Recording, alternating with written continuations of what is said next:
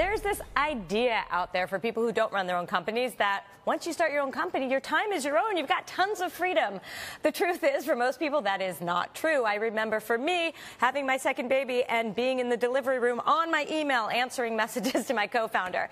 But there is a way, according to our next guest, where you can have both work and life and a balance even in those early years. He says that you can create a business that runs itself. Mike Michalowicz is the CEO of Profit First Professionals, a group of accountants, bookkeepers, and coaches that are helping drive profitability at entrepreneurial businesses. And he is also author of the new book, Clockwork Design Your Business to Run Itself.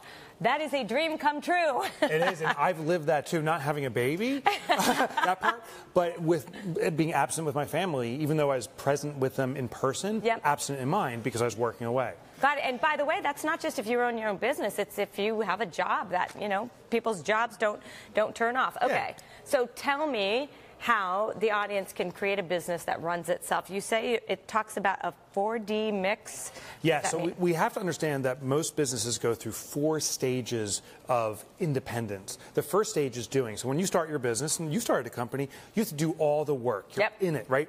The next level up is called deciding. Most entrepreneurs mistake it for delegation, though. Deciding is where, say, you hire me and you say, Mike, I need you to do invoicing. And I come back a minute later and say, should I, JJ, sort it by last name or first name? And you're like, oh, just do by last name you make all the decisions. You're task rabbiting me. To get out of that, we need to do true delegation, which is the assignment of outcomes. Yep. Where you say, Mike, I need you to invoice clients on time so we get paid consistently and accurately. Can you handle that? Yes.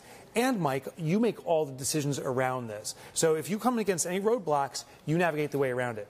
The challenge is when I make decisions, you as the entrepreneur need to actually support all my decisions. Exactly. So even the bad ones. like if I mess up, you have to say, oh, that wasn't the outcome we wanted, but Mike, I'm very proud of you. You actually made a decision that you felt was in our best interest. Right. So support all decision making. And then go to the final D, which is designing. Designing is where you have that vision for the outcome of your business and you navigate around the tactical and strategic decisions to orchestrate all of the people and resources you have to get to that vision. That's where entrepreneurs need to spend a good portion of their time designing, not doing. Got it. That's the real thing, is right. Once you hire good people in house or outsource and you get them and you trust them, then you have more time to spend elsewhere and you can trust them. Okay, declare your QBR. Yeah, it stands for the Queen Bee role. Mm-hmm. So as I was writing this book, I studied all these different businesses to try to find the common thread of efficiency. Couldn't find it, JJ. Then I found that beehives have the answer. Now, I don't know if you've ever seen this. You'll see a bee flying around your house, and all of a sudden, this like massive hive is there the next day. They're extremely efficient, and they all know. Every bee knows the most important function of a beehive is the laying of eggs, because eggs spawn new bees, and that's what they need to survive and ultimately thrive. Every bee knows that that queen bee role, the queen bee is the one who lays eggs, yep. has to be happening. If it's failing to happen, it's everyone's responsibility to get it spawning again. Now, one critical mistake entrepreneurs make, they say, oh, I am the queen bee, therefore I'm the most important. The queen bee is not the most important bee. She serves a critical function. But if the queen bee fails to deliver on it, she's expunged and a new bee is spawned.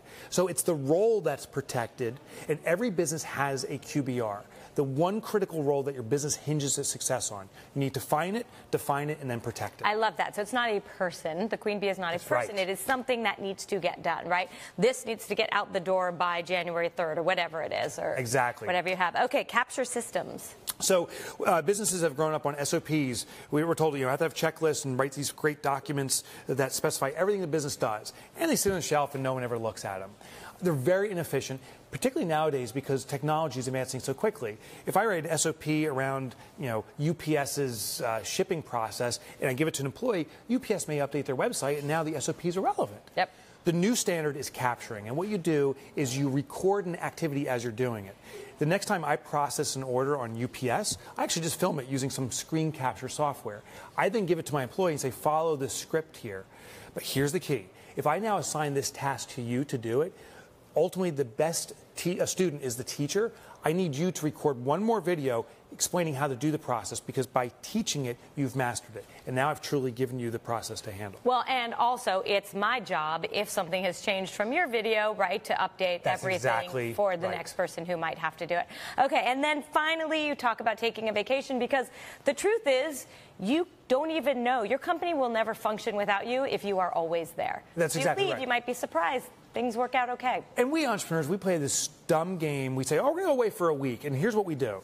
The week before we leave for a week, we crunch in as much work as possible. We try to bridge over while we're away. So we, we do all this proactive stuff. Then the day we return is the scramble and say, what can we do to catch up? That's not a business that's running itself. That's just a bridging technique. What I found is businesses need to declare the entrepreneur a four week vacation. I know. You're angry.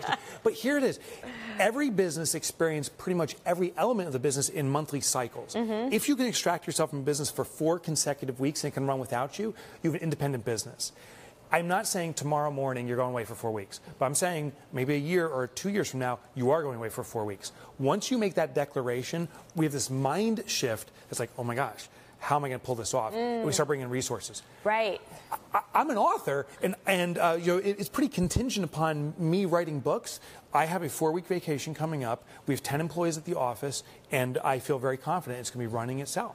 Your vacation is, you mean your book tour? no, no, no, no. oh, no, no, no work whatsoever. Vacation. Yeah, so, it's a digital disconnect too. Like I have no email, no nothing. Wow. Yeah. But I like this idea of if you say it and you plan for it, then you have that mindset, mindset of I've got to make sure that this is going to work and I can leave and feel comfortable and not be stressed while I'm gone. That's right. Just watch out for one thing.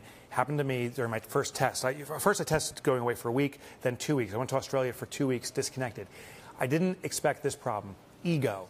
My ego kicked in. They didn't need me at the office. There was no emails. Right. I'm like, uh, aren't I important? And I actually started to reinsert myself in the business and unwind the progress we made we have to redirect our ego to something greater. That by having a business that runs itself, we can actually scale and serve a greater purpose. Yeah, there's so many good things you can do. Spend time with family, nonprofit work, whatever you want to do.